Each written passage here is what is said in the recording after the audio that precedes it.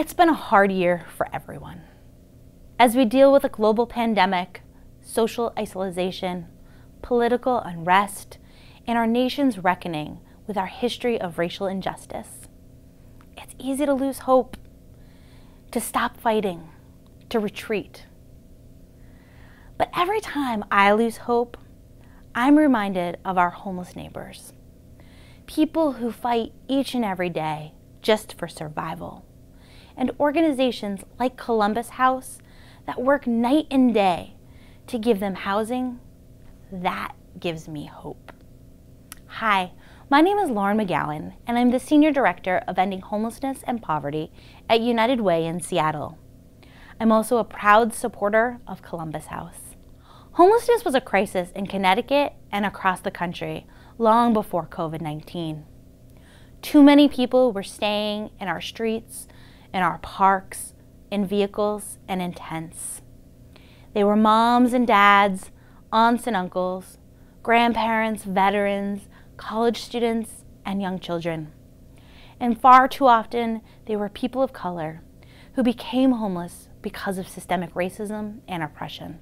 For each of them, homelessness is a personal crisis. For our communities, it's a humanitarian crisis and a public health emergency that requires bold and urgent action.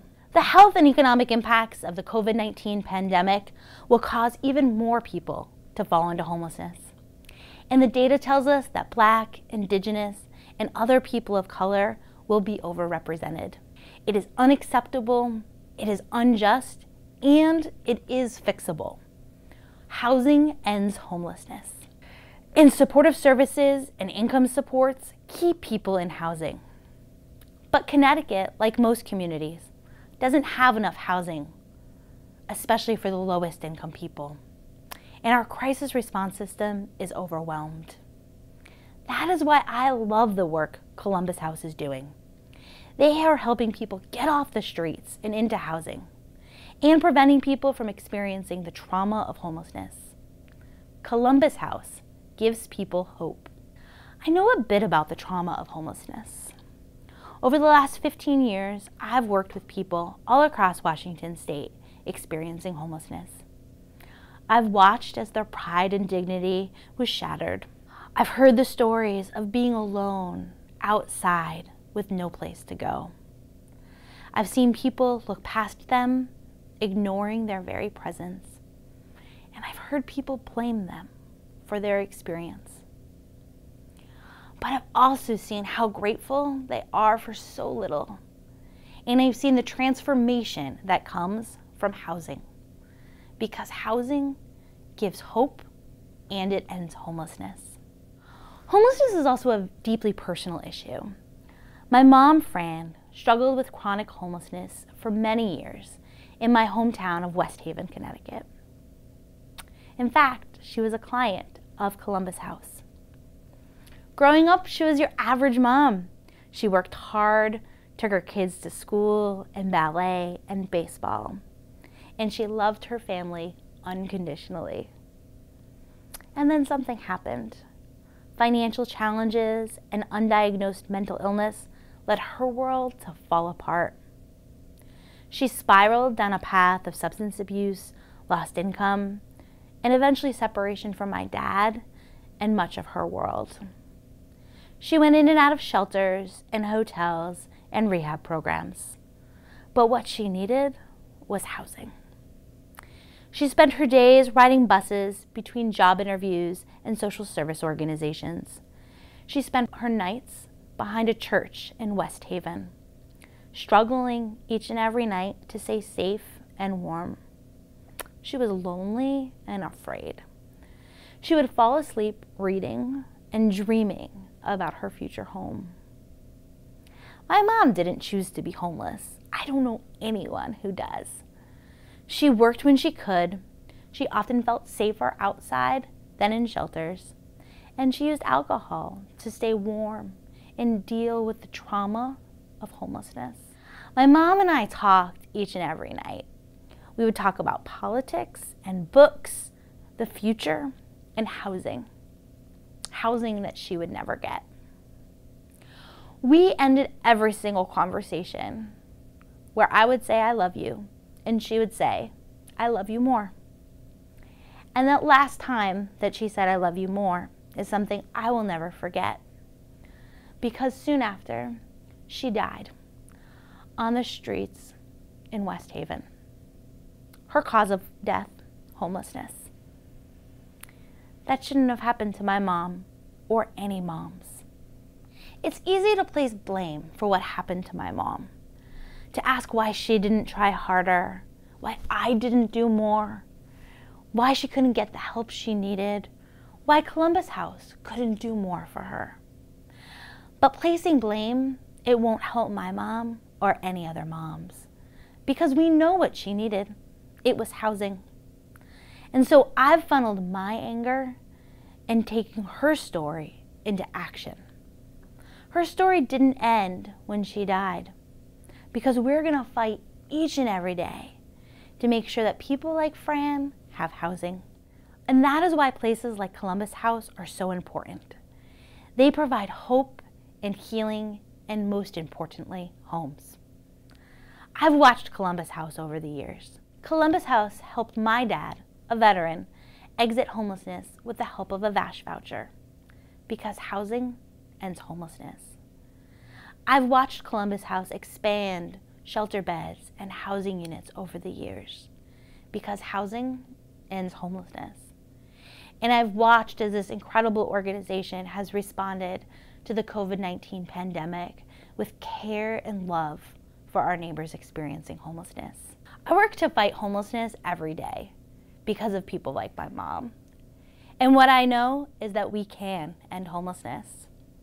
Because people don't choose to be homeless, but our country has chosen not to end it.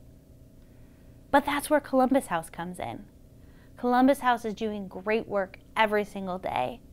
And people like you, people who support this organization, are allowing more and more people to move into housing. Thank you for being part of that journey and please do everything you can to share the work that Columbus House is doing with your friends and neighbors.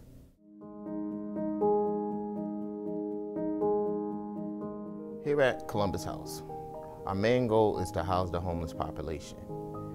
And we accomplish this goal through many different avenues.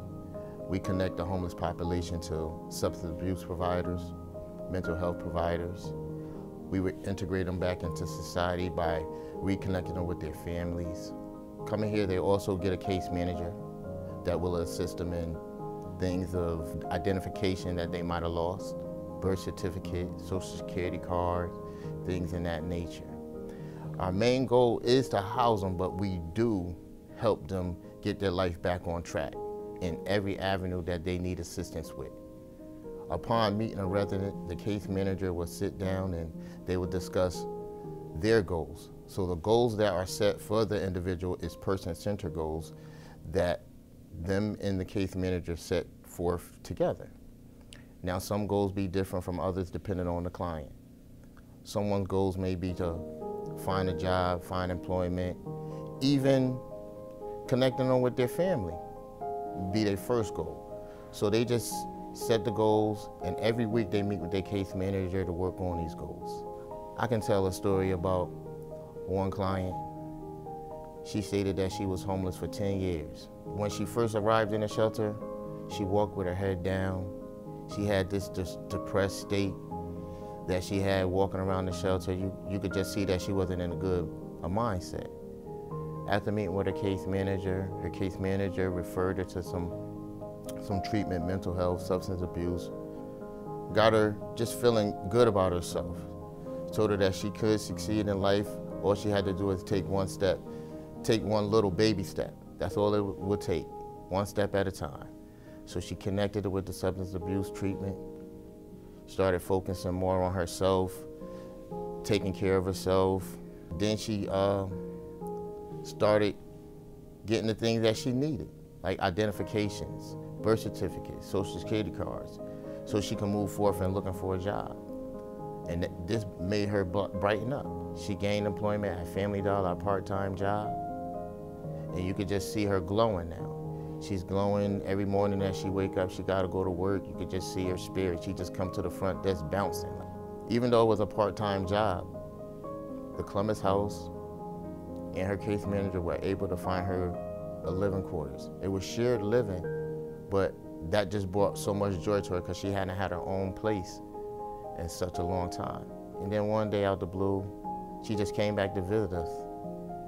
And she didn't say much. All she wanted to say was thank you for all the encouraging words that the staff gave her, all the help that she had gained while she was here. And that's it. She just said thank you and left. And that is just one story of many clients that the Columbus House has successfully housed or even just helped get their life back on track. Some clients even go back to family members once they get their life on track. So the Columbus House has many services that they provide. The main goal is to meet the client where they at.